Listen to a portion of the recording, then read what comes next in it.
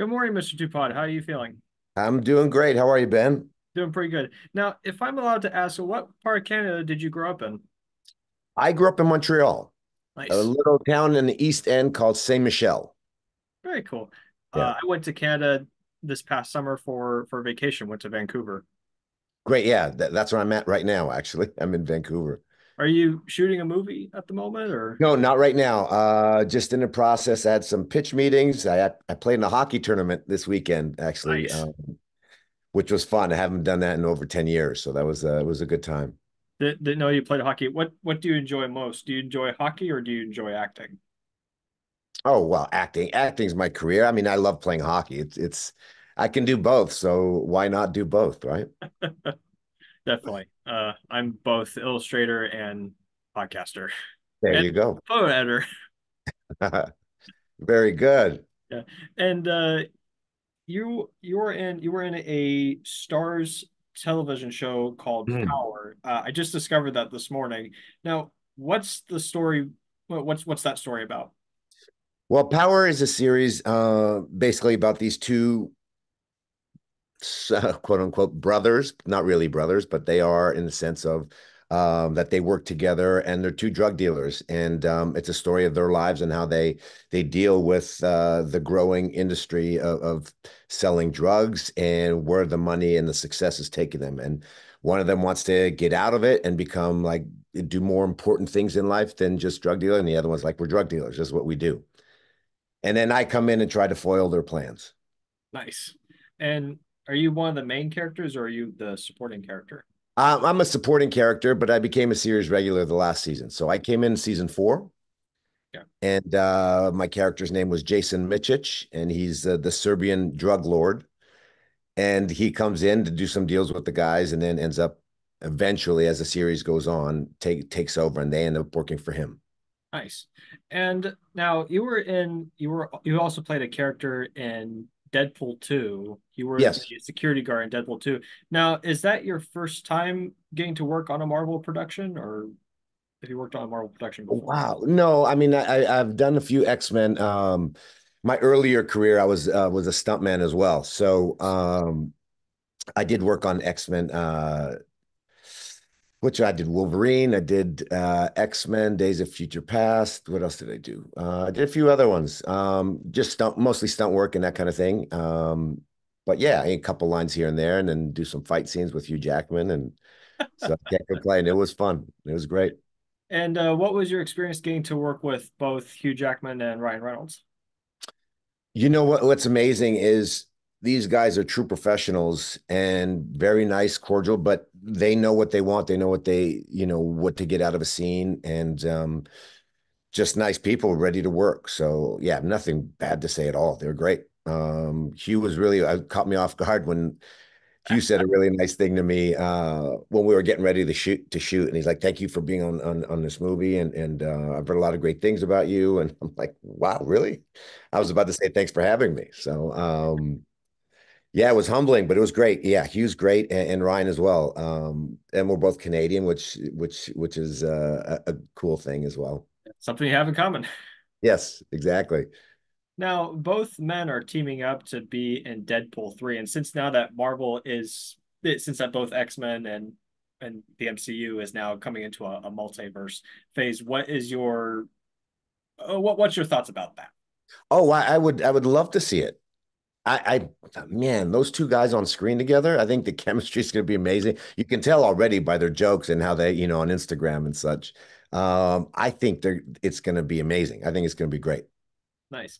kudos to Hugh Jackman. You know, uh, I don't know at what stage or how how I mean, he's always in great shape. Uh, I remember that doing the X-Men. Um, he had been training. He was telling me how his training was going, and he was down. They had it down to the minute uh, as, as to what kind of drinks they would have at the last minute, right before shooting a scene, and how much he would lift and get ready because he had to have a shirt off and such. And it was amazing. He was in, in such phenomenal shape. Um, so I'm curious to see what how they pull this one off. I think it'll be great. Very cool.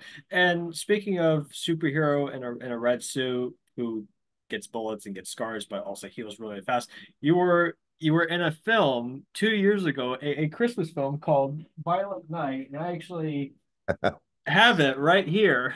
Yes. Great movie. Now, what Well, was I'm glad you liked it. Yeah, it's it was. I think it was a bit of a surprise hit. So, Yeah, I saw it twice. oh, good. Yeah. Yeah, very funny. Uh, one of my favorite lines is I'll I'll have to bleep it out because we can't can't cuss on retro podcast, but uh, is when is when you're in the scene, you're telling your your troops, Yeah. can't remember what goes by, just remember it's like what we do, we Yeah. Exactly. Right. And what do we do? Yeah. We F. Oh, can I say that? There we go. it'll, it'll get cut out. Whoops. Don't, don't worry. Hey, you're not the first one to swear on retro podcast, but it gets bleeped out. Don't worry. There, there you go. Woo. no, that was, you know what? That was an amazing, uh, just the journey to get there and to get this because it was through COVID. And I remember uh, we got pushed a month because everybody on the crew and the cast tested positive for COVID.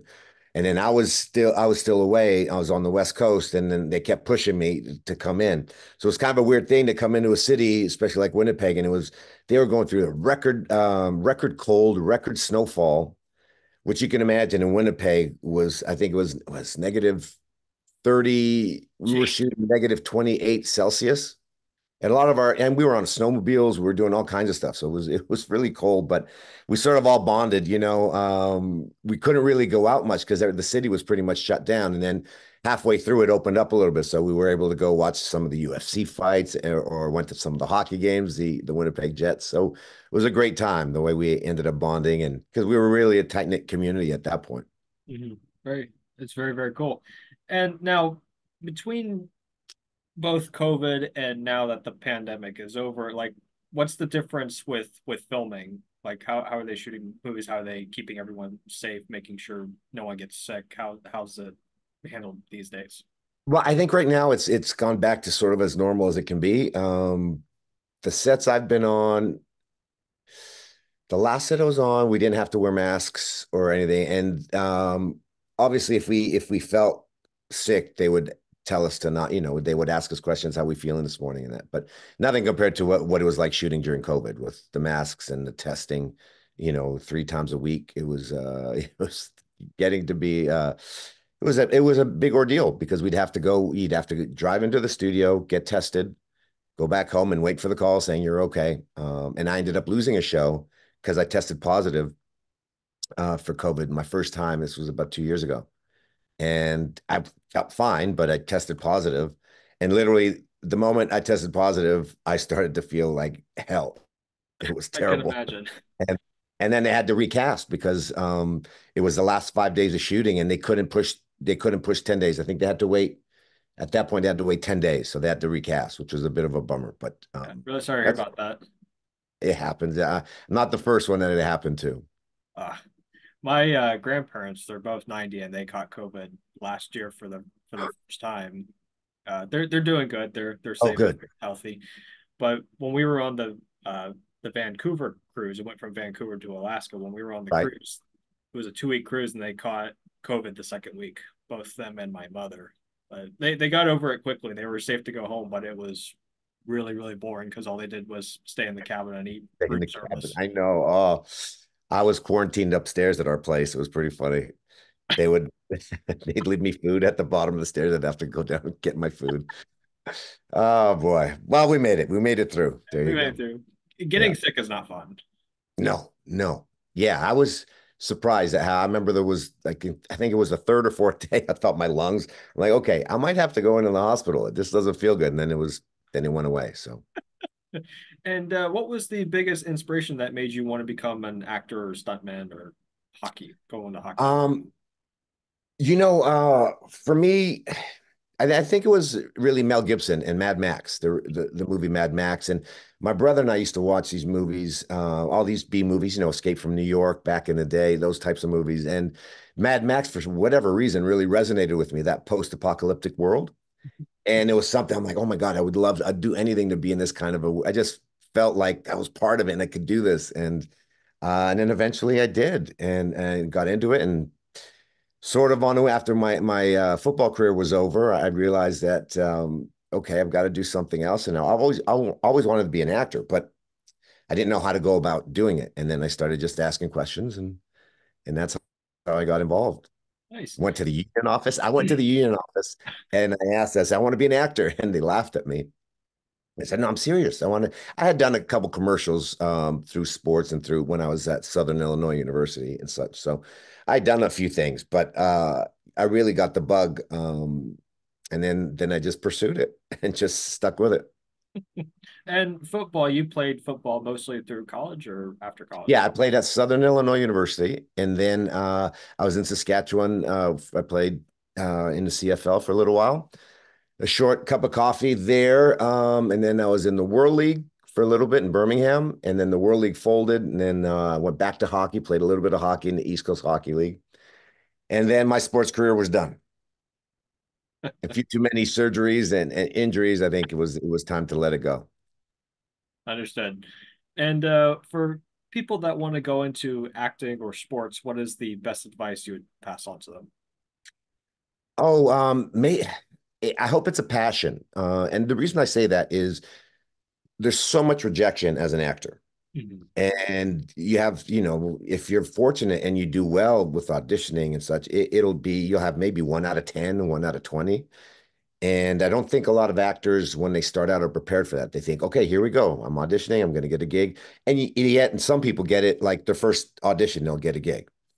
But it's it's really being uh, it's got to be passion, and it's got to be something you love to do that you can do on your own. As far as if you can't work in film and TV and it's taking too long to get there, do plays, work on plays, do that kind of thing. Uh, work, go to acting class, work on scene study. Um, there's so many things you can do that that can really help enhance your, your career. Thank you. Thank you. And we're we're coming down to the end of the interview, and we oh, have oh, wow. okay. two we have two famous questions. Uh, the first one is a question from my mother. She okay. wants to know if if you had to watch one movie for the rest of your life, it doesn't have to be every day. It could be as many days as you want. What would that movie be? Wow. I've never even thought about that one. That's a question my wife would ask. Um, yeah, she always says, if it was your last meal on earth, what would you have? You know, uh, it said depends on the day. Um, it depends on the day. Oh man. Um, okay, I'm gonna go with uh, I'll say uh, the original Mad Max. Um, Good movie. Yeah, the original one. I, I, would say I I enjoyed the the the Tom Hardy Mad Max as well, but um, yeah, the original Mad Max because that's what got me into the industry. So probably that. Nice. And uh, for the famous question, this is a retro show. Uh, what was your favorite retro product growing up in the 80s or 90s? Well, I remember when video games started coming out, and uh, you know, we what was it? A quarter, I think. You went to the to the arcade and you play. You spent a quarter on each machine, and uh, I remember the first the first one that really caught my eye and my attention was Asteroids. Good game. Do you remember Asteroids? Yeah. Oh, yes. And that's that's the one. And I mean, there were other ones too, like Space Invaders and that. But I remember specifically it was those two, Asteroids and Space Invaders, that I loved to play. Space Invaders I was great very, at it. Space yes. Invaders is a very intense game. Yeah. Yes. As it gets going, as faster and faster, you're like, whoa. Um, but yeah, for me, th- those were the games that, and I wasn't great at them, but I enjoyed playing them. They were fun. Uh, we had a guest on here at the beginning of of the season who collects a lot of arcade console machines. Okay. Uh, he has them in his basement. He turned his basement into an entire 1980s arcade. He was on the show explaining his his passion for collecting. Oh wow, yeah. that would be amazing, actually. He does. Uh, he does music. His name is Till Paris. Uh, he okay. Does, he does music. Uh, he's actually uh, going to help me on a project uh, in a couple of months. Uh, he's going to do some music for a project that I'm working on. Oh, fantastic! It's great. Yeah. Well, uh, Mr. Dopud, thank you for taking your time on today's episode, and have a great rest of your day. Thanks, Ben. Nice to meet you, and uh, have a great week. There you go.